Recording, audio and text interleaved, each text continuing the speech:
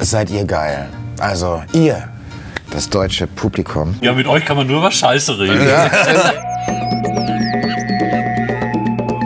Herzlich willkommen. Ein Jahr lang mussten wir warten. Dieses Camp könnte tatsächlich als Psychocamp in die, in die Geschichte eingehen, weil schon. wir haben so viele Bemackte. Erstmal finde ich, dass überhaupt keine Stars mehr dabei sind. Das finde ich irgendwie, das heißt ja, ich bin ein Star, holt mich heraus. Und ich bin, ich bin ein Suppenhund aus einer Castingshow und ich komme jetzt da rein und wieder raus. Und in diesem Jahr sind ja so viele, ich würde mal sagen, auch psychiatrisch auffällige Leute da drin, ne, mit Krankheiten. Und dabei ist Krankheiten. ADHS noch das geringste Auf Problem. jeden Fall. Und da wird halt morgen wahrscheinlich immer wie bei einer Flug übers Kuckucksnest, kommt dann die Schwester mit dem Tablett. Medikamentenausgabe. Und dann kommen sie alle und kriegen ihre Tablette auf die Zunge gelegt. Und da gibt es Leute, die sind so doof, sich den Weg von ihrer Liege zum Klo zu merken. Also ich finde, diese Staffel hat doch jetzt sehr vielversprechend angefangen. Alle, alle Psychosen. Psychokuschelcamp, ja, der Friedhof der Psychokuscheltiere.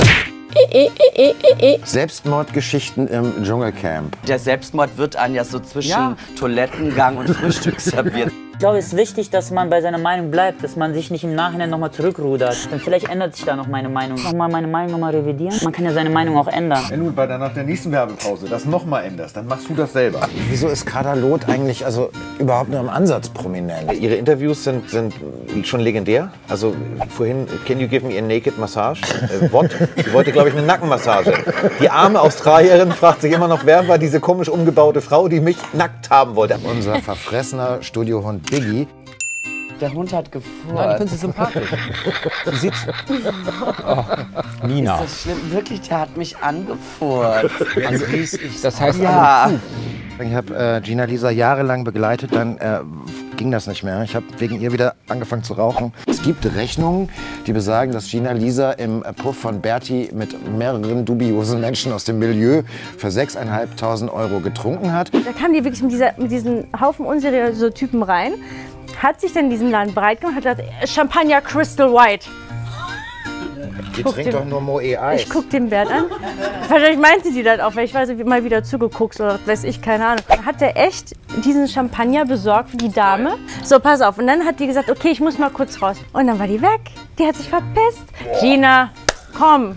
Ja, aber dass sie so abgefuckt ist, hätte ich jetzt auch nicht gedacht. Die Frau, die ist verbraucht, die prellt Zechen, nicht nur die vom Bär, die prellt mehrere Zechen. Die ist jetzt nur wegen dieser Vergewaltigungsgeschichte, wo sie den Prozess verloren hat. Und jetzt tut sie da einen auf Unschuldslämpchen, dunkle Haare extra und äh, äh, äh, äh.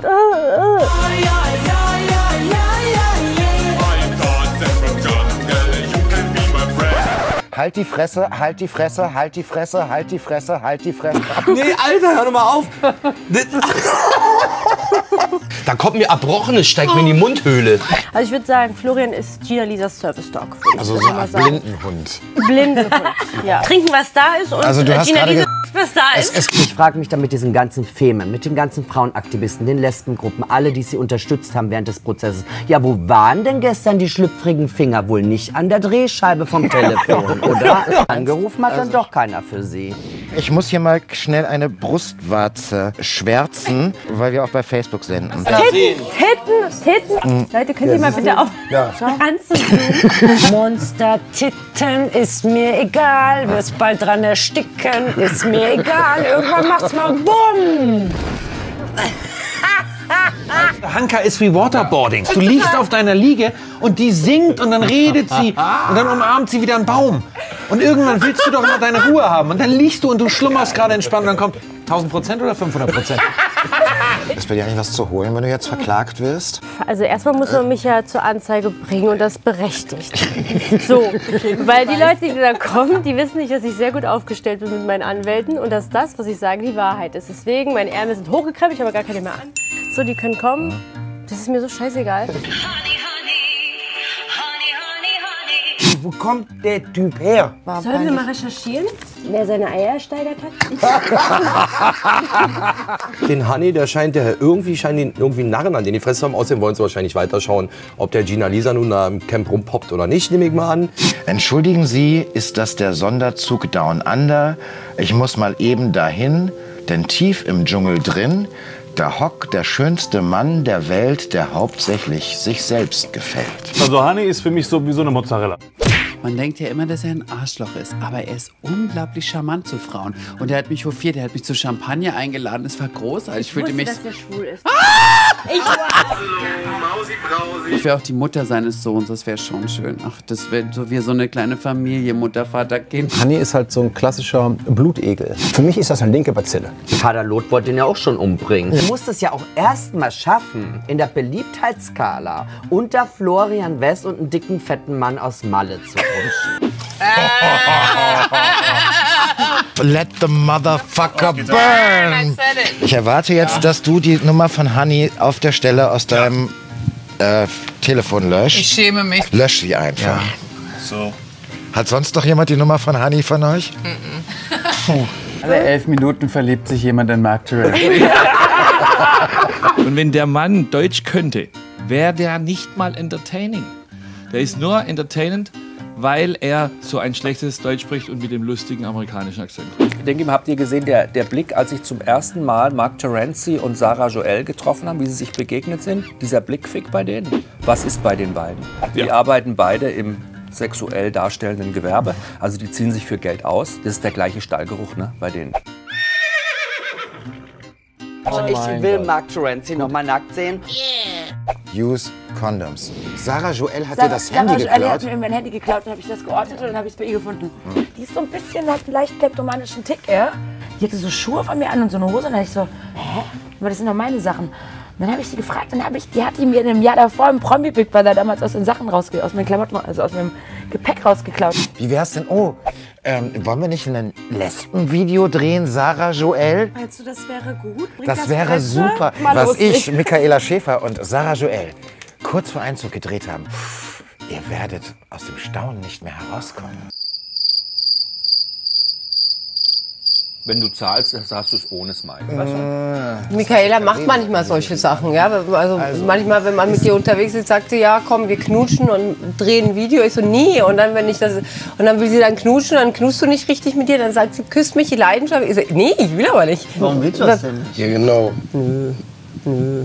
Ich stehe jetzt nicht auf Michaela. Wie tickt Markus Majowski wirklich? Der ist, der ist beklatscht. Der ist beklatscht. Wenn der durch die Decke geht, der schlägt alles zusammen da. Wer hier unterbricht oder ins Wort fällt, einen großen Schluck davon, Oh. dann ist die Sendung aber zur Hälfte für euch vorbei. Prost erstmal.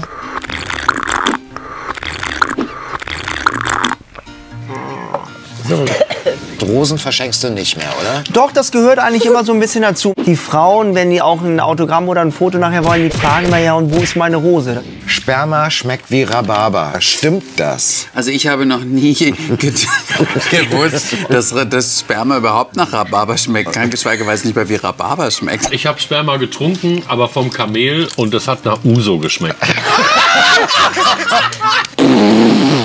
Helena möchte sich Fett in den Arsch spritzen lassen. Und zwar möchte sich Helena nicht irgendein Fett in den Hintern spritzen lassen. Sein Fett. Sondern das von Ernesto. Ja, ich- das? ich sehe hier kein Fett. Das ist das Hier. Dr. Holger Klose, mit dem habe ich letzte Woche über deine bekloppte Idee geredet. Und der sagte, sie wird daran sterben. Ricky Zacker, Ricky Zacker, hoi, hoi, hoi. Ich wollte mich als Bundeskanzlerin bewerben. Du musst ja nur populär sein, nicht vorbestraft und deutsche Staatsbürgerin. All diese Kriterien erfülle ich. Und ich meine, eine Helena Fürst als Bundeskanzlerin, auch nicht schlecht, aber leider ist die Frist abgelaufen. Wir würden sofort in den dritten Weltkrieg äh, ja.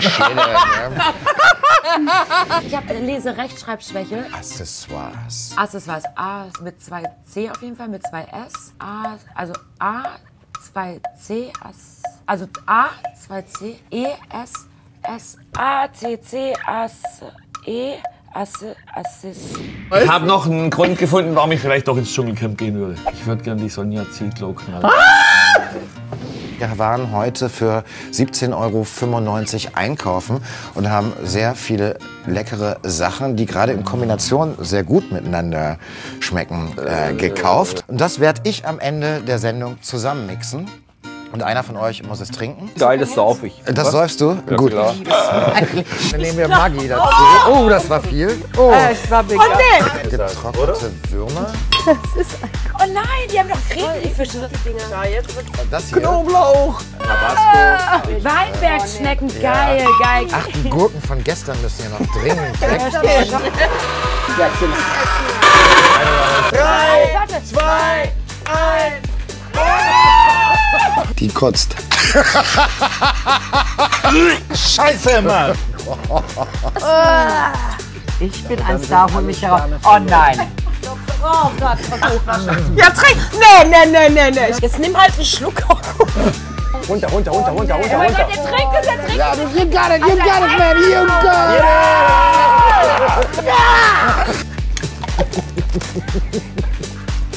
Er ist einfach ein Tier. Du bist wirklich. Nase zu und weg damit. Yes. Boah, du Maschine. Okay, das war jetzt echt cool. Das war cool. Komm. Gott sei Dank. Gott sei Dank. Als fairer Sportler sage ich Glückwunsch, Marc. Und ähm, vielleicht hast du jetzt ein paar Mark verdient, ein paar gute Auftritte und deine Gage steigt, dass du in Zukunft deine Alimente bezahlen kannst. Dann hätte die ganze Geschichte einen positiven Effekt. Ich war oft gelangweilt, aber ich hatte viel, viel mehr Spaß bei meinen gefühlten 600 Auftritten bei der Bild Dschungel Show.